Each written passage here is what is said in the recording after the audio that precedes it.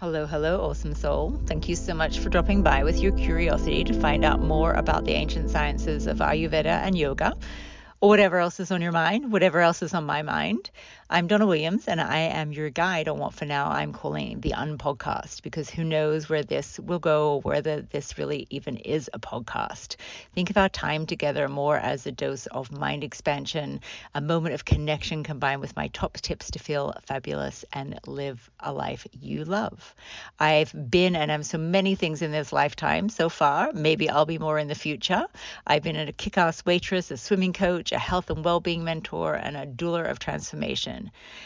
Maybe I'll be something else this week, but I generally hate labels. And at 51, I already feel like I've lived a thousand lives. But please don't stress because, yes, yes, yes, I am also well qualified and experienced to talk about things like Ayurveda and yoga, amongst others. I spend a lot of time geeking out about all things well being, and I'm convinced that the reason I was put on this earth was to support people to find peace in being completely themselves. Because more of that equals less war, less violence and suffering, and a whole lot more justice. So if any of that feels like you too, or you're just having a bad month and feeling like crap and you want to feel better, then you are most definitely in the right place.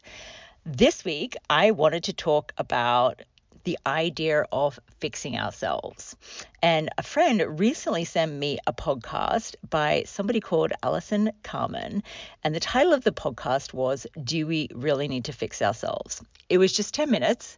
And it was this beautiful, positive, uplifting monologue about how we are all perfectly imperfect and we are divine beings. And it's all about just feeling worthy. And if we can feel worthy and like we are important and worth something in the world, then our lives will be okay. And that is amazing. I felt fantastic listening to this podcast for that 10 minutes. And then what happens after? And that is something that I wanted to address today because there is so much literature out there. There are so many books, there are so many podcasts, there are so many YouTube videos on how just feel worthy. You are worth it and you will feel amazing. Except that the question I'm always left with is how do I do that? And I think that's a question that a lot of people have. And so today I wanted to give you some practical tips. And the reason that I wanted to talk about this today is also because it is deeply related to Ayurveda, this ancient 5,000 year old wisdom and science from India.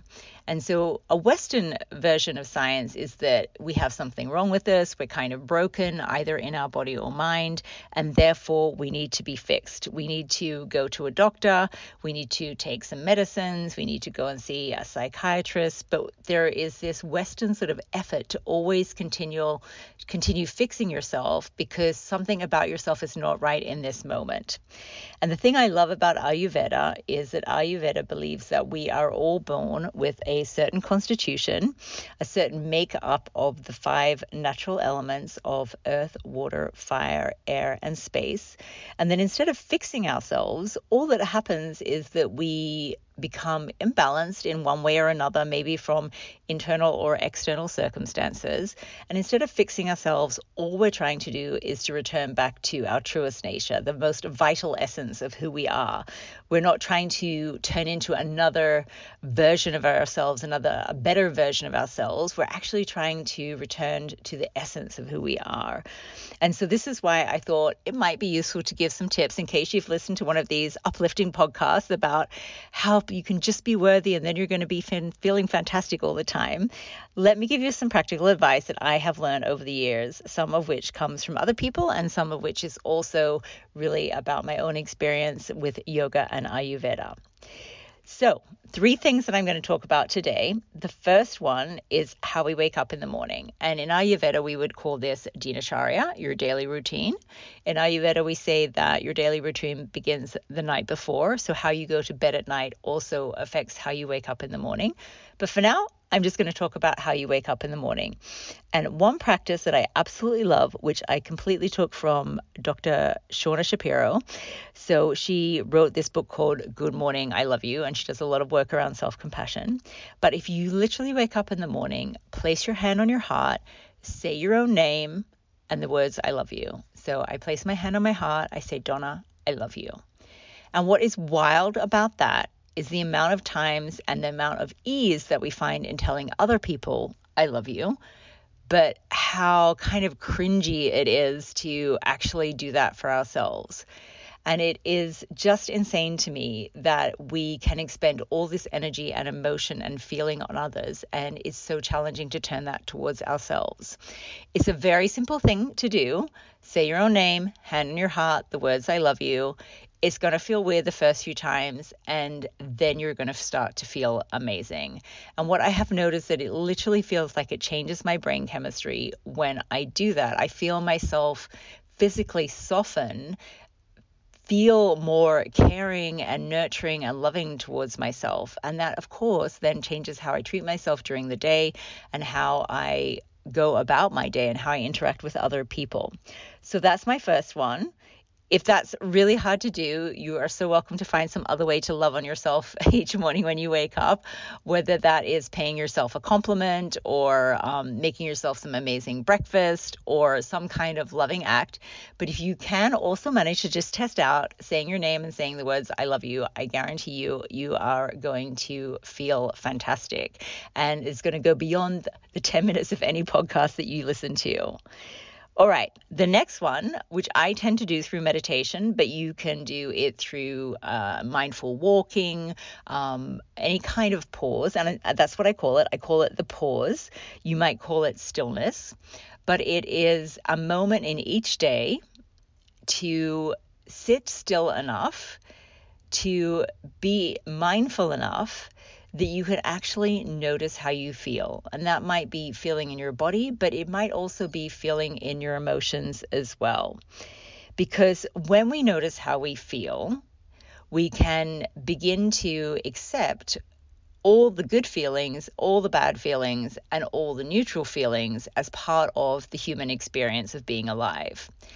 When we go about our day and we don't notice at all how we feel, what happens is that we tend to only notice when we have extreme feelings. And extreme feelings that are more predominant are usually the ones that are unhelpful, like anger, annoyance, frustration. Um, maybe you're very lucky and you're having a great celebration every day. But of course, what we're tuned in to feel is those extreme emotions that actually feel hard and uncomfortable. And so then we get to have this sense of being really imbalanced in the emotions that we're experiencing.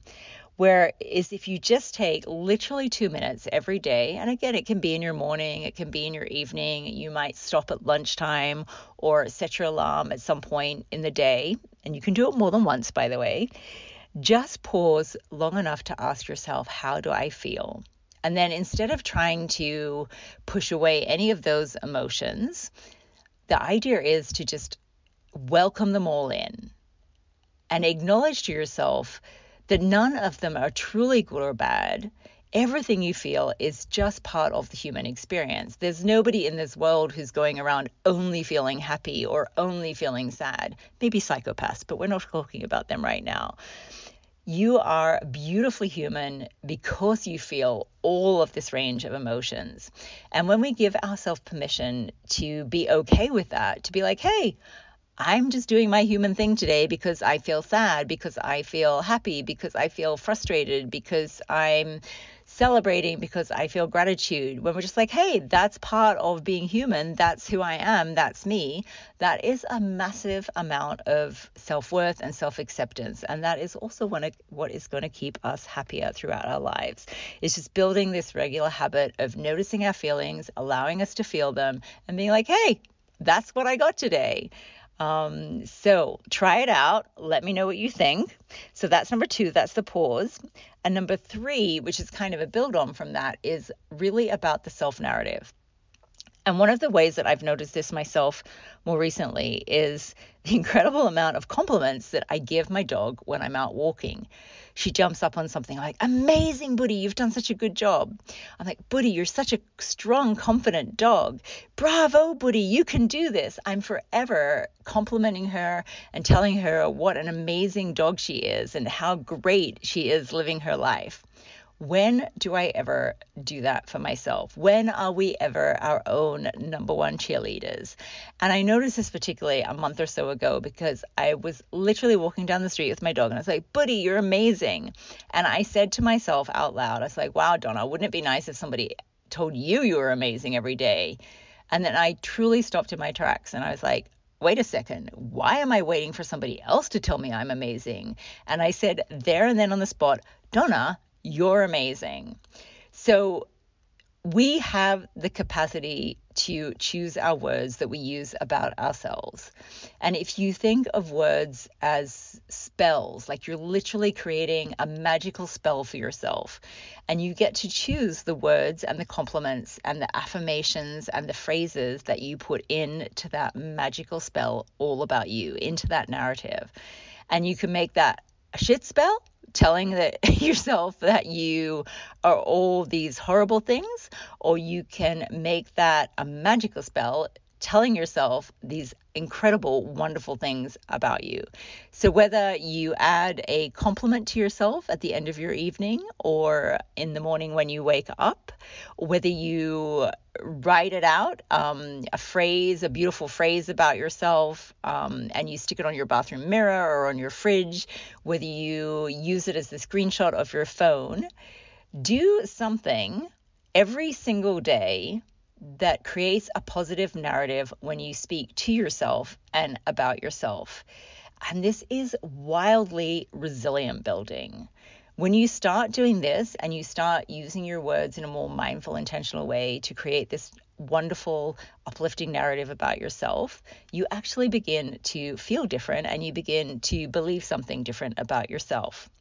So these are my three tips. Put your hand on your heart every morning, say your name, say the words I love you, Take a pause every single day to notice how you're feeling and welcome all of those feelings in as the part of the beautiful human experience of being alive.